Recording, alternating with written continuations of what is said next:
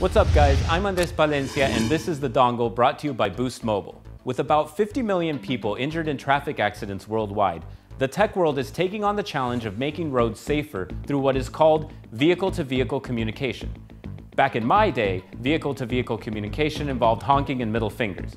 In Elon Musk's driverless vision of the future, cars broadcast their position, speed, brake status, and other data to surrounding cars, creating a shared network of information. This technology is currently found in electric vehicles like Tesla. And now, thanks to a joint effort by Ford, Trek Bicycle, and Tome Software, this kind of technology will make traveling safer for everyone on the road, including bicyclists, through new bicycle-to-vehicle communication systems. With 840 bicyclists killed by automobiles in 2016, this kind of technology could not come soon enough. I'm Andres Palencia, and this is The Dongle.